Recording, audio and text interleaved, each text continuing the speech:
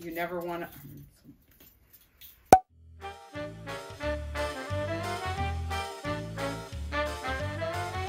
Hello ladies and welcome to today's Behind the Seams. I'm carrying on with the beautiful Grizas that we just got in for the spring summer collection.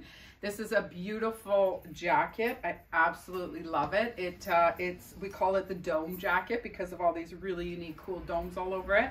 You can definitely play with how you want to wear it and uh, flip up your cuffs or keep it um, done up there. I love the silhouette of this jacket. I would just do it up here. I like that look. And then I have underneath peeking out is uh, the new white jeans from uh, Yoga Jeans that we just got in.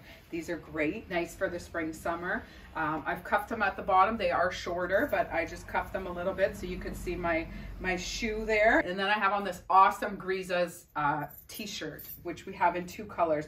I didn't wear, you can definitely wear a little um, spaghetti strap white underneath if you if you want to feel a bit more covered because it is a linen knit, so it is a little see-through with the white, but I kind of like that look. On the bottom, it has the cut hem here, so it's um, fraying a little bit. It's not going to fray more than that, but it's just got that great frayed look. And of course, these polka dots, these circles, which are awesome. I love this look with the jacket. The jacket has nice deep pockets and the back detail as well is awesome. It is great for pear shaped. It's nice and fitted here and then just comes out. It's such a great design. I feel like this jacket will go miles. You could really wear it spring, summer, and fall. It's got all these great domes and an awesome neckline as well. I love the structure here, a little Sergeant Pepper there. So I'm wearing an extra small in the jacket and an extra small in the t-shirt. The t-shirt is so cute. I just want to show you it.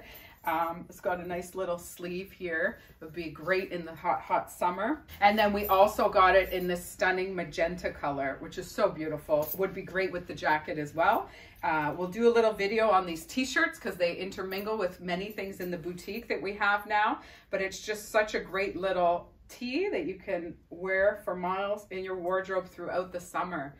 I got little Millie here who's tuckered out. We were just away on the weekend. We were visiting friends of mine in Tiny, Ontario, and they live in LaFontaine, which is on the Georgian Bay. Um, on, they, they're a block away from the beach in Georgian Bay. It is so beautiful up there.